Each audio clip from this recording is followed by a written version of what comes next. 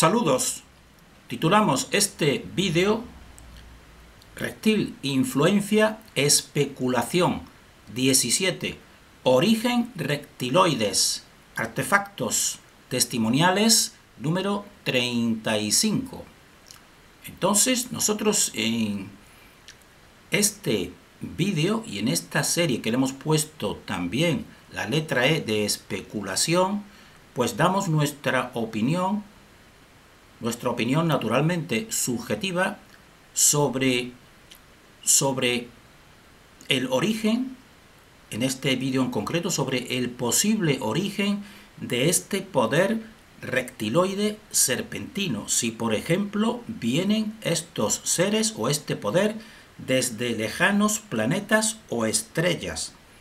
¿Y desde cuándo? Entonces, nosotros, por tanto, hemos dicho ya que no tenemos una, una mm, dijéramos un conocimiento directo, un conocimiento directo de estos seres, por tanto, es especulativo, especulativo nuestro pensamiento que compartimos, pero no es gratuito. Y nosotros vamos a dar argumentaciones e indicios e indicios de, nuestro, de nuestra convicción o de, de nuestra convicción, como ya hemos dicho, a un 60%. Entonces, nosotros tenemos que decir en primer lugar que el origen de este poder reptiloide tiene que estar y está directamente relacionado con el origen de nuestra dimensión. Y esto puede parecer algo extraño, pero no lo es porque nosotros, desde nuestra perspectiva, pues esta dimensión actual o esta creación actual en la cual estamos, pues no es la creación inicial o la creación original de una fuente, de una fuente que sería la fuente del poder del poder creativo, sino que estamos en una creación secundaria, en una creación secundaria manipulada e intervenida desde su origen. Entonces, nosotros, naturalmente, este es un tema muy complejo que nosotros no vamos a poder explicar en este vídeo, sino simplemente vamos a señalarlo, es decir, a señalar una serie de claves para que la persona por sí misma pues vaya uniendo los puzzles, los puzzles o el puzzle de su comprensión. Entonces, nosotros, por ejemplo, en esta serie de artefactos testimoniales llevamos ya con este 35 vídeos. Entonces, nuestro deseo y nuestra, dijéramos así, nuestra esperanza es que la persona coja las claves, porque si coge las claves de todos nuestros vídeos, que son simples, son unos cuantos principios, pues ella misma podrá, podrá, por supuesto, pues ir realizando su interpretación que nosotros pensamos que eh, de manera esencial coincidirá, coincidirá con la nuestra, aunque por supuesto pues tendrá su propio punto de partida, su propio punto de partida según su esquema previo.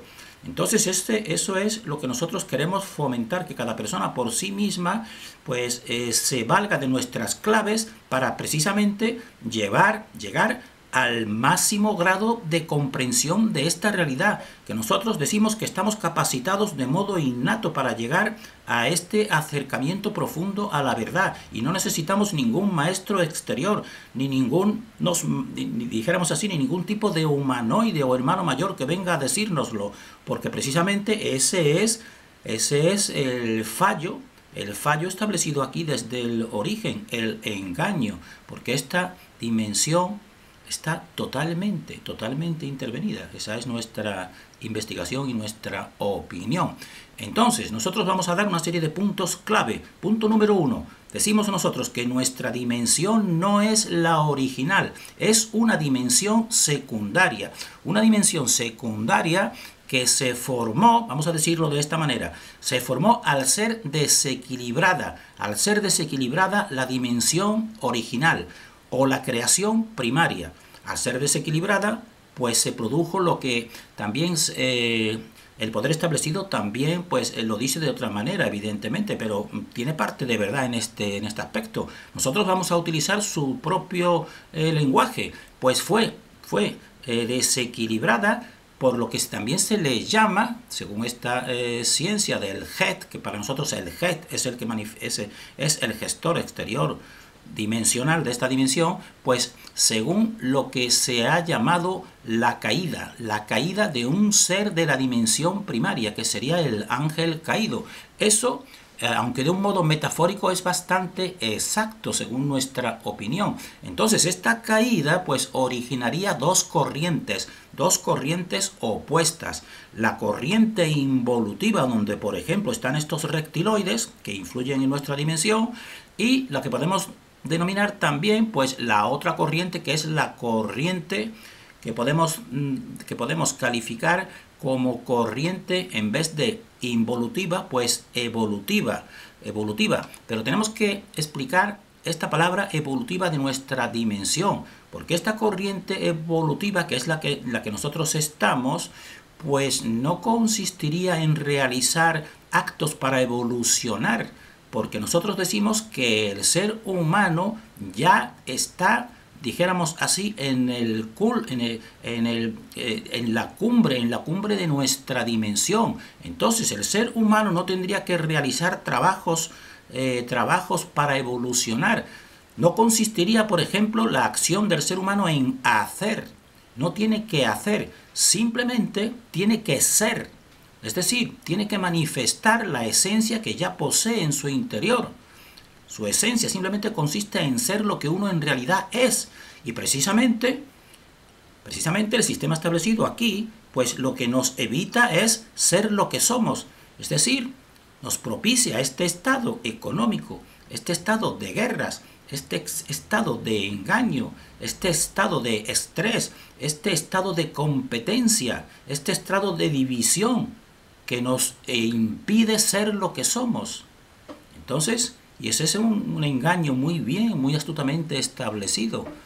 Entonces nosotros decimos eso, una caída produjo esta, esta una caída debida, eh, que ya hemos explicado en otros vídeos y si queremos explicando, pues al libre albedrío, al libre albedrío que la fuente nos concede y nos concedió, se produjo esa caída. Entonces en esa caída, pues... Eh, los seres que la propiciaron o el ser principal que la propició, pues es el que realmente está manipulando desde el origen esta dimensión. Por eso nosotros decimos, los reptiloides están en ese, en ese origen de esta propia dimensión, están, están desde el inicio. Incluso podemos decir, podemos decir incluso que en cierto sentido son más antiguos que nosotros.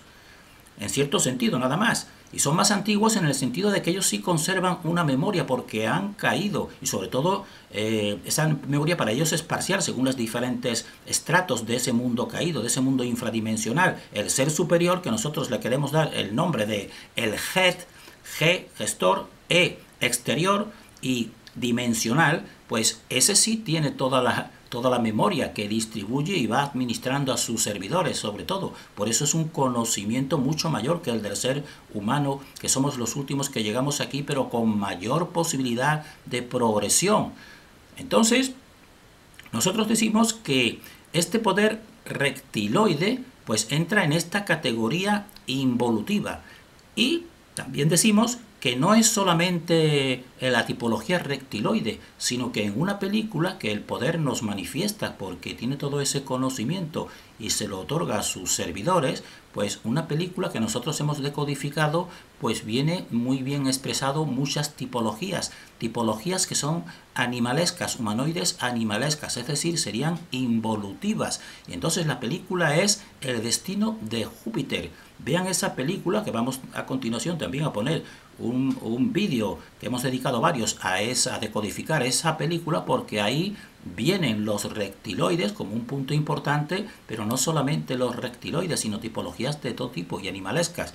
Lo que pasa que, eh, dijéramos aquí, en nuestra dimensión, lo más patente, lo que más sirve a este poder establecido es mostrar la categoría reptiloide en la cantidad de todas las culturas y de todos los artefactos. Esa es lo que se da. Pero nosotros decimos, no es solamente, no es solamente esa tipología de tipo eh, reptil.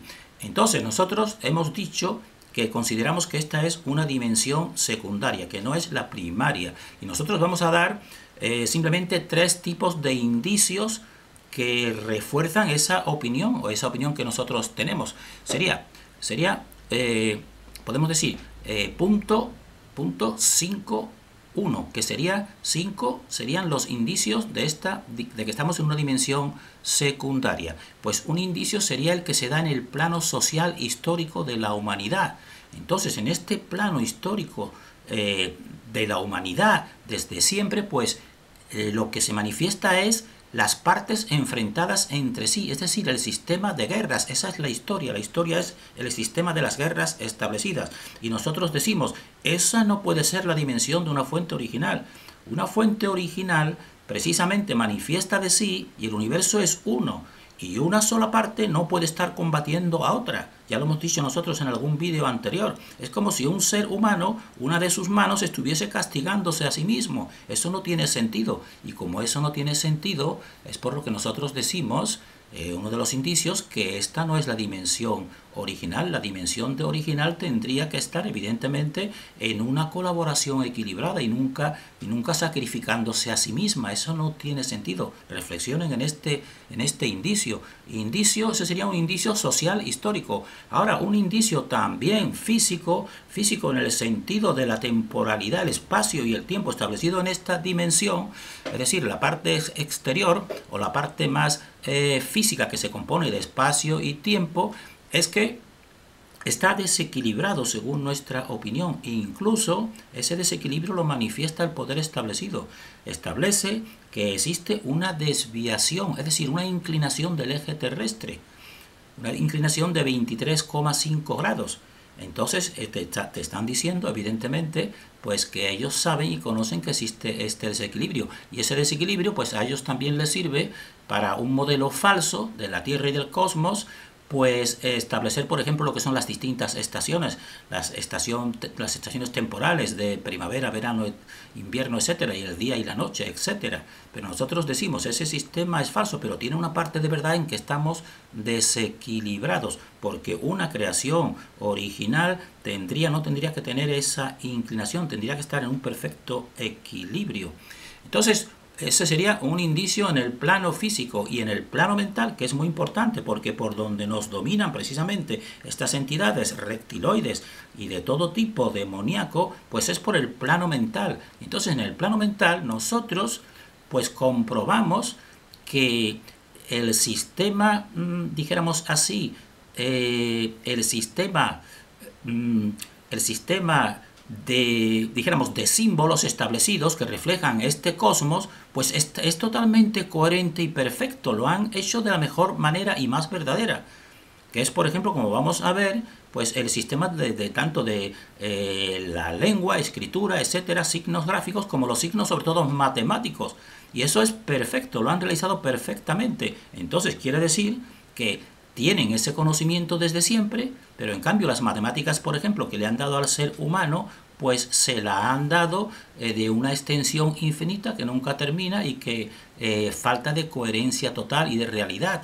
Entonces eso para nosotros también es un indicio, porque una fuente verdadera no tendría por qué estar ocultando el conocimiento, no tendría motivo para ocultarlo. Entonces, una dimensión secundaria, intervenida y manipulada, pues tiene muchos motivos para ocultar el verdadero conocimiento y solamente ir, ir dispensándoselo a sus servidores con cuentagotas tiene muchos motivos. Por supuesto, ¿cuáles serían esos motivos? Evidentemente, pues controlar y vampirizar y servirse de lo más, de lo más potente que es nuestra propia dimensión nuestra propia energía. Entonces, nosotros, como ya decimos, vamos en este vídeo a mostrar una serie de imágenes que son que son artefactos que son artefactos que, que precisamente pues te, muestran la abundancia y el predominio de ese mundo eh, reptiloide, de esos reptiles. Pero tenemos que recordar lo que hemos dicho. Hemos dicho que el poder reptiloide pues entra en la categoría involutiva. Y en esa categoría involutiva no solamente son los reptiles, son muchas razas. Y que esta película, esta película que es de los hermanos Wachowski, de los hermanos Wachowski, que precisamente porque todo va encajando, comprueben que también estos hermanos Wachowski pues eh, cumplen, cumplen una agenda según nuestra opinión. Todo lo que nosotros decimos, lo decimos bajo el concepto de suposición o de presunción o de sospecha, simplemente pero para que cada persona reflexione. Entonces existe en la actualidad pues una agenda que nosotros creemos, que también otros investigadores lo saben, de precisamente lo que se llama la androgenización o la confusión de sexos. Y estos mismos hermanos Wachowski que realizan, realizan, pero para nosotros existe un poder tras ellos, evidentemente, pues se realizan las películas más representativas de, dijéramos así, del conocimiento secreto, como la película Matrix y esta película que se llama El Destino de Júpiter, en la cual se ven todas estas tipologías reptiloides reptiloides y no solo reptiloides, sino otro tipo de eh, entidades animalescas muy reales y muy ciertas, según nuestra opinión, pues entonces nosotros eh, decimos que precisamente en su propia vida, como estamos viendo aquí, ellos eran los hermanos Wachowski y ahora se están transformando, se han transformado ya en las hermanas Wachowski, cada cual reflexione. Entonces nosotros decimos, para esta película del destino de Júpiter, donde se ven otras muchas tipologías, aunque la que más interviene en nuestra dimensión es la tipología reptiloide, pues vean también eh, una serie de vídeos que nosotros hemos eh, realizado sobre esta película, sobre el destino de Júpiter. Eh, una de ellas, de la primera o la segunda, sería con este título, El destino de Júpiter descodificado, DS14. Y hemos dicho que vamos a dar indicios de, hemos dicho ya, indicios de que precisamente eh, esta es una, mm, una, realidad secundaria, una creación secundaria, porque hemos dicho precisamente que no es lógico ni natural, pues el sistema desde un principio de las guerras establecidas aquí en esta dimensión desde su origen. Entonces estamos viendo aquí una estela que se llama la estela de los buitres, de la antigua, de la más, eh, del origen, lo que se considera el origen de nuestra civilización, que es la civilización sumeria. Pues esta es la base precisamente de esta estela que te está reflejando ya la guerra, la guerra de dos ciudades. Y eso pues ha continuado hasta el presente totalmente y seguirá hasta, hasta hasta el final de esta dimensión, según nuestra opinión. Eso no es normal que el ser humano no haya aprendido, no haya aprendido en miles de años, porque en la actualidad, en las guerras establecidas, pues aquí tenemos a Albert Pye y les remitimos a que vean esta página www.mentealternativa.com en que viene precisamente, pues, eh, viene reflejando una realidad que no se puede negar, pues que este, este Albert Pye, pues, eh, eh, véanlo, leanlo aquí, Simplemente, pues pertenece, perteneciente a sociedades secretas, evidentemente, pues eh, predice, predice, por ejemplo, Primera y Segunda Guerra Mundial y hasta la Tercera Guerra Mundial, que nos dice, usaremos el Islam para iniciar la Tercera Guerra Mundial. ¿Cómo es que este hombre que fue electo soberano, gran comendador en el año 1859, antes de las dos guerras que ya hemos pasado, pudo predecir precisamente cómo serían esas guerras, sus componentes, incluso hablando de esta tercera guerra mundial, es que era divino, pues no, sencillamente. Seguía una agenda, una agenda de quién, pues lo de la entidad que nosotros calificamos como el HED, para no darle otro nombre, otro nombre que todo el mundo también puede tener en mente, que nosotros decimos HED, el gestor exterior dimensional, entonces, eso para nosotros hemos dicho que es un indicio de que esta es una, eh, una realidad secundaria, porque en una realidad primaria no podría existir la guerra consigo mismo de las partes de un mismo universo que es uno y diverso.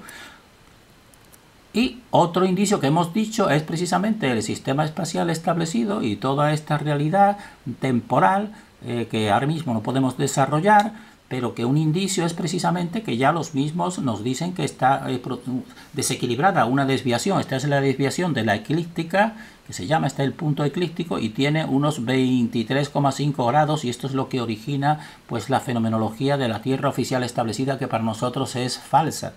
Entonces nosotros decimos ya en los relieves sumerios, pues aquí está expresado lo que nosotros queremos decir. Esta cruz de la, esta estrella en este círculo, pues representaría para nosotros, representaría la dimensión original, todo un equilibrio.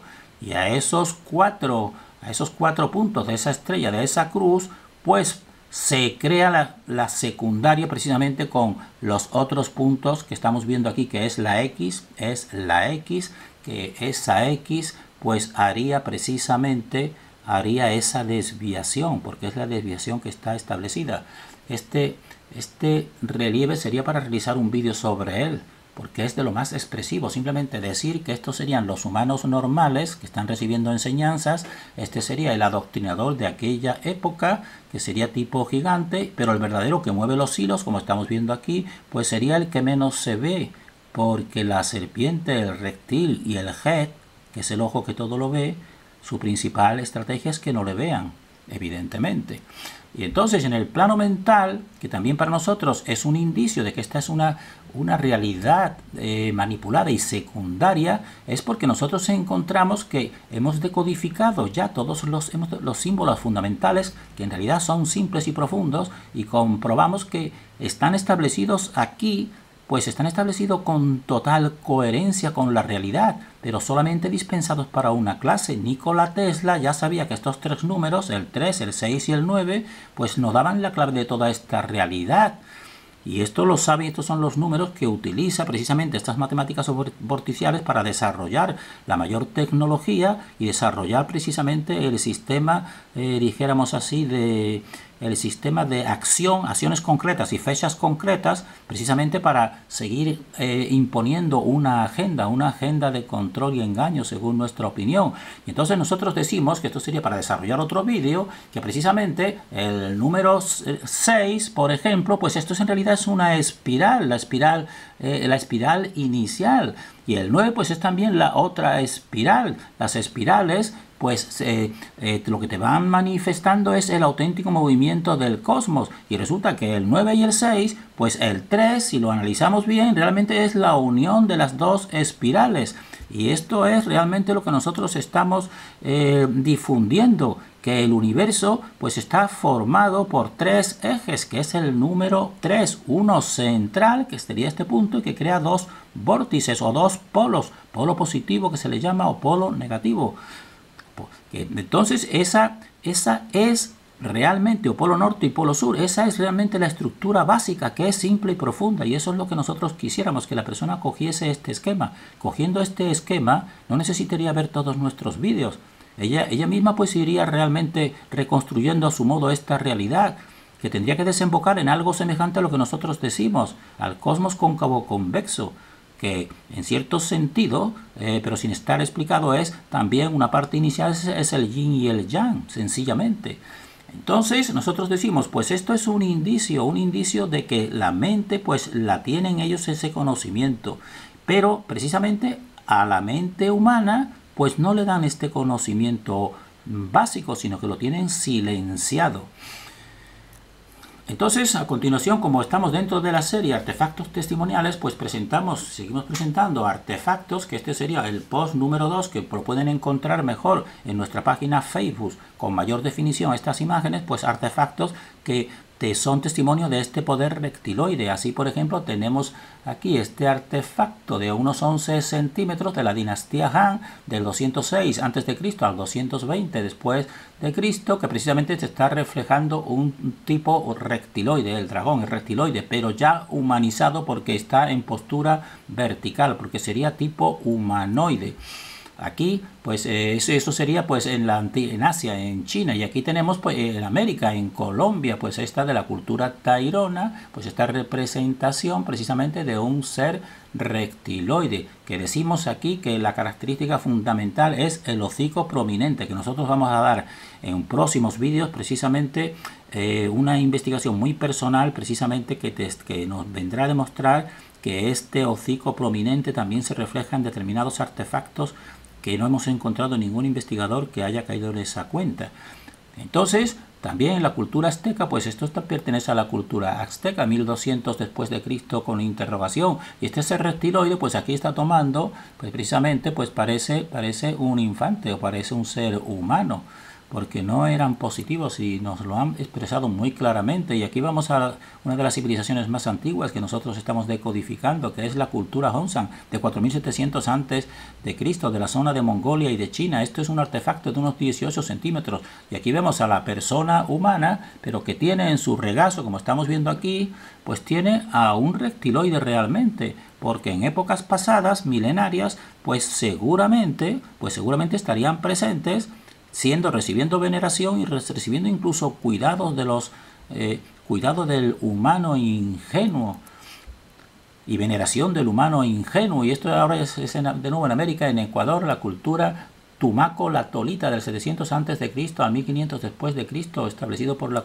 por la oficialidad arqueológica. Y esta cultura, pues para nosotros es una de las que mejor refleja con más tipos de detalles que ahora mismo no podemos entrar a describir a estos humanoides de tipo rectiloide. No podrían ser inventados según nuestra opinión, porque no es, uno, sino van coincidiendo en muchos de, estos, de estos rasgos, de estos humanoides. Y aquí en la zona precisamente donde nació, eh, según la cultura oficial, en Mesopotamia, pues aquí también tenemos esta cultura muy misteriosa que realmente son precisamente por la prominencia que estamos viendo aquí, la prominencia inicial de ese hocico, pues nosotros lo calificamos como reptiloides porque los reptiloides son bastantes tipologías.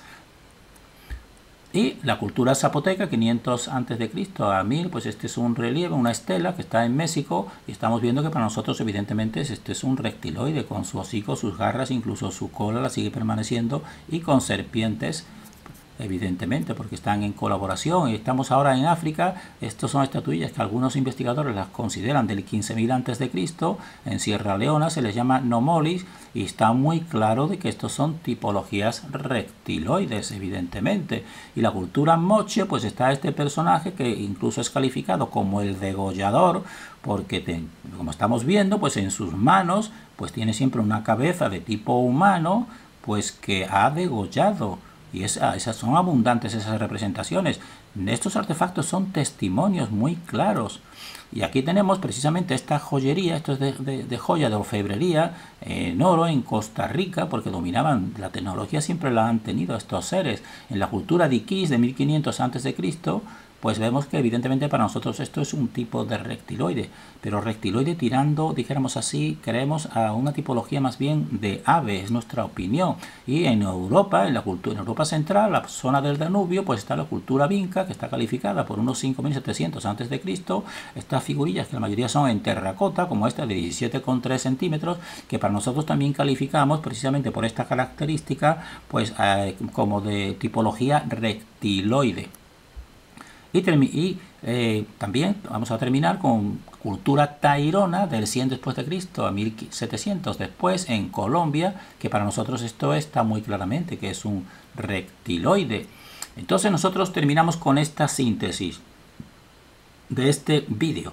Número uno, que el origen del poder o la influencia reptiloide está en el origen de nuestra creación secundaria, es decir, está desde el inicio porque desde el inicio está manipulada e intervenida, es decir, no vienen de lejanas estrellas después aquí a intervenir, sino ya que en su creación pues están esta corriente no solamente reptiloides, sino de todo tipo a partir de lo que hemos denominado un primera, una primera voluntad que hemos denominado, que se, a veces se denomina como el ángel caído, nosotros le decimos el Het. Y número dos, que para muchos eh, investigadores pues están interpretando de un modo positivo que existen extraterrestres que son buenos unos, otros son malos, unos combaten a los reptiles y nosotros decimos eso es una, una confusión, eso es una equivocación inducida. Nosotros decimos no proviene de lejanos planetas esa influencia, no provienen ni de estrellas, sino que provienen pues si tienen que venir de algún sitio sería de aquí, porque vivimos en un, en un sistema cerrado y provendrían de lo que nosotros denominamos el subsuelo cóncavo terrestre, que no sería ni más ni menos que lo que eran considerados por escritores antiguos como los antiguos infiernos. Porque nosotros repetimos, y esto lo completamos con nuestra serie sobre el espacio y sobre la forma de la Tierra, pues concluimos diciendo que nosotros vivimos en un sistema cerrado, en un cosmos Tierra, que es lo mismo el cosmos que la Tierra, que denominamos cóncavo convexo y que es la estructura más simple y más profunda. Terminamos deseando para nosotros y para todos el mayor discernimiento.